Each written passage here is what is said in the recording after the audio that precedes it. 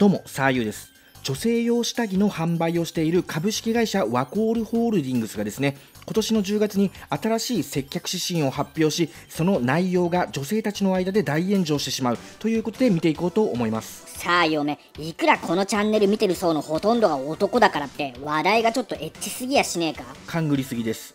この度株式会社ワコールホールディングスが発表した新しい経営指針では LGBTQ+ の人々に配慮し性別にかかわらず誰でも利用できる試着室を導入するという方針が打ち出されたんですね。これはマジで頭おかしい。なんで女性客の安全を脅かすようなことをわざわざ会社の方針として発表すんだよ。誰に対して？何のアピール？これ誰が得すんだよ？まあつまりこの経営指針下着売り場で男性と女性が同じ空間を共有するってことになるんですよね。これはいくらなんでも女性がかわいそう。いやーそうだよな。もう許せねえよな。でいつから男も試着室が使えるようになるんだ？おい行かせ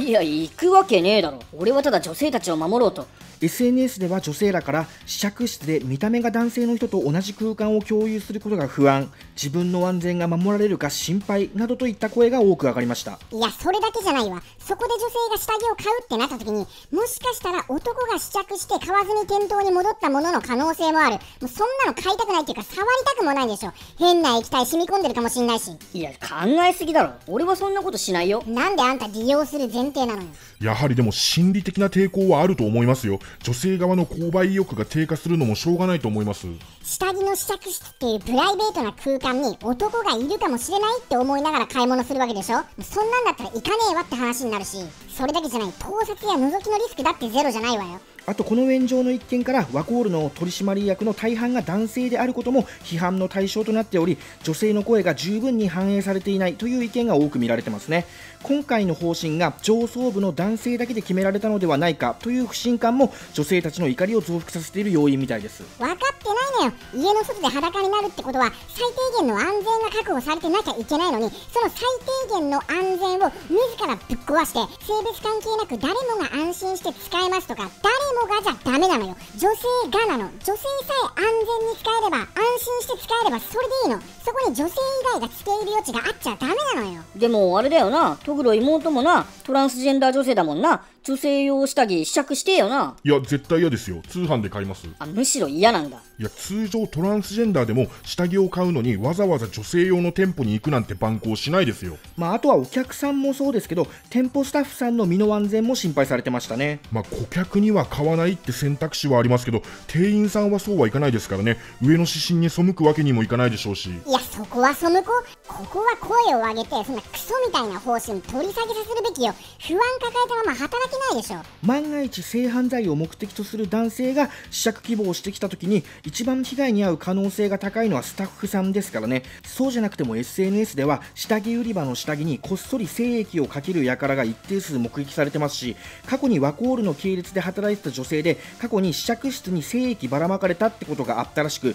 それから男性客は試着室に入れないようにって指導が入ったらしいですからね。いや待ってワコールの系列でそういう事例があったのに今になってそんな指針出すとかマジで何考えてんだ？悲しいですが時代なんですかね。こういうのって結局のところ企業として多様性への配慮という評価が欲しいってだけで目的のために女性客の安全やプライバシーがないがしろになっちゃってるんですよねよくこういう話って LGBTQ+ プラスへの配慮と女性の安全のバランスをうまくとってとか言うんですけどはっきり言って男性と女性が同じスペースを共有するって前提がある以上バランスなんて取れるはずがないのでもう女性用は女性しか入れないってもはっきり分けるべきなんですよ。トラ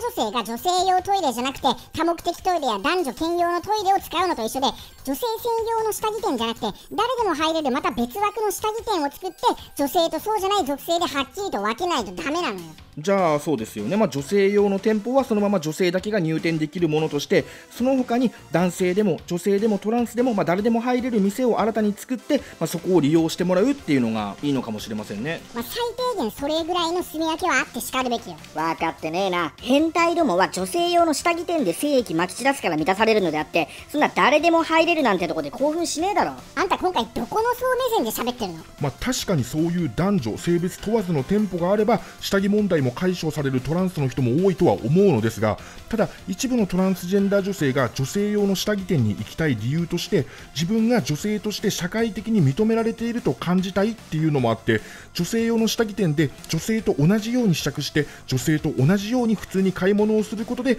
日常生活において自身の性別のアイデンティティが受け入れられてるっていう肯定感を得たいっていうのがあるんで。そんな個人の肯定感のためになんでその他大勢の女性が危険にさらされなきゃいけないの？よいやごもっともです。でもそういう風に考えてるトランスの人も一定数いるってだけで私も女性の安全と LGBTQ への配慮のバランスっていう話であれば同じスペースは共有しない。しっかりと住み分けをするべきと思います。ちょちょちょ待ってくれよ。じゃあ女性用の下着店で精液をまき散らしたい男どもはどうすればバランスが取れるんだ？死ねばいいのよ。むしろそういう性犯罪者らをどう取り締まるか。そういう事案も踏まえてセキュリティの強化とかしていくことによってより安心安全に女性客が買い物できる環境にしていきましょうっていうのがワコール上層部の仕事でしょうがどこにこびてんだか知らないけど経営陣がクソ押すばっかでわからないならもっと女性たちの声を積極的に取り入れて反